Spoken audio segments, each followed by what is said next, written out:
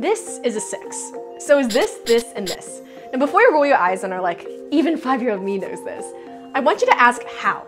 How is it that our crazy smart brains can just see different shades of light and dark and are like, that's a six? And moreover, how can a computer do the same? Now, if you've been on the internet lately, you've probably heard a ton of talk about AI and machine learning, from self-driving cars to cameras that can translate text. Now, a lot of computers do this with something called neural networks. These cool guys are a huge innovation in computer science because they allow computers to learn how to do something by themselves instead of depending on instructions from humans. There are many types of neural networks, but a pretty basic one to get started with is called a multi-layer perceptron. Sounds super fancy, but don't worry.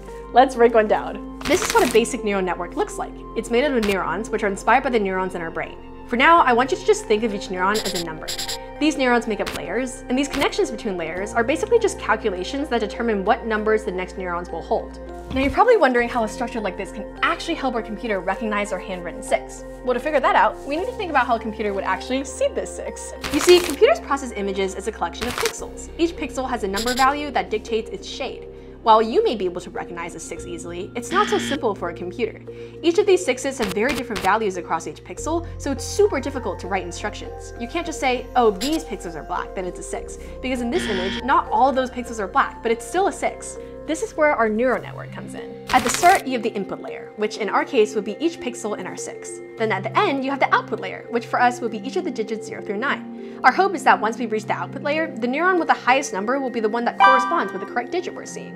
So we get the start and we get the end. But what's going on in the middle?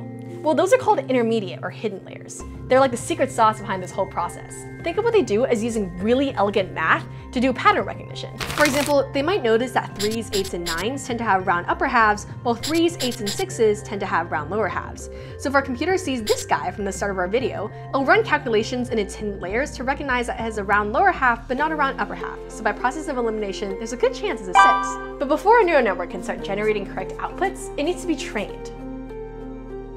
Okay, so think of our initial neural network as a little baby that's really good at math and like literally nothing else. It needs to learn, hence machine learning, and in order to do that, we have to feed it a lot of data to look at so it can start recognizing patterns in them. Then, when we put these parts together, we can see our neural network actually being able to read numbers without any human instruction. Neural networks are going to play a huge part in our future. The example we looked at today was pretty harmless, but imagine instead of needing to distinguish a 6 from an 8, a self-driving car needed to distinguish a pole from an open road. Understanding neural networks is the key to a better and safer future. Now, if you want to start actually coding neural networks, I linked some resources in the description to help you get started. And next time you want to impress your friends, tell them you know how to read a 6. It's pretty difficult.